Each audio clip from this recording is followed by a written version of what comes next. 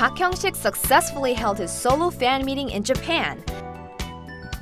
Park Hyung-sik met his fans in Japan on the 12th, and it was his first time doing so as an actor. He passed out gifts that he had prepared for his fans and also played games with them. He then mused them with his performance You're My Love, the song he sang on the soundtrack of his TV drama High Society, as well as the song Beautiful Lady originally by the group ZE:A.